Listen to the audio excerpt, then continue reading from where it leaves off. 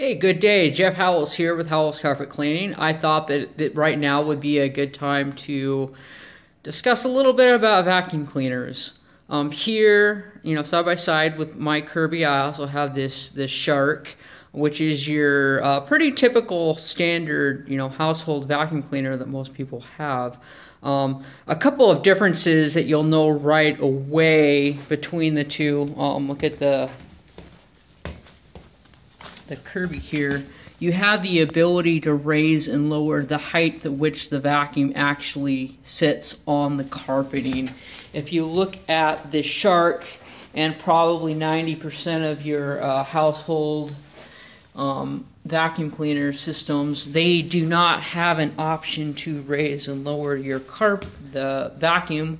Um, they basically they just kind of float there on top of the carpeting and are very uh, less aggressive so that you're not destroying your carpet piling. Where this Kirby can be quite a bit more aggressive because it has the option of of raising and lowering and therefore the motor is much much stronger because you you know there's some potential for damage there whereas the shark and most of your other vacuum cleaners are probably are, are, are most likely, you know, uh, I, I want to say like a one size fits all, so that you know you it's kind of safe for everybody to use without um, accidentally causing damage.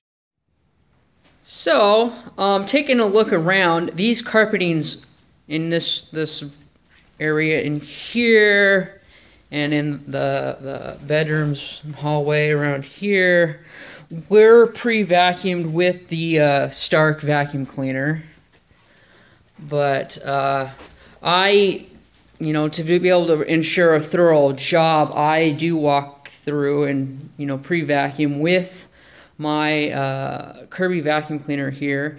And the vacuum cleaner bag, without opening it up and making a mess, um, is 20 to 25% full just from re-vacuuming the area which was already vacuumed. Now, um, some key points of interest in a house, you know, that really need to be vacuumed is this transition area right here. The door and any doorway where there's a transition area, it's a you know a collection, you know, a place where dirt is most likely to to collect and making sure that this is, area is thoroughly vacuumed all the time. As you notice here, there isn't really any traffic pattern set in, which is pretty amazing. So they obviously did a pretty good job of keeping this place vacuumed most of the time. But as dirt comes in, that's what generally causes the, the wear patterns to begin to sit in, which may permanently damage the carpet. It's, you, you never know. Um, the other transition areas are also like in the kitchen is a good one.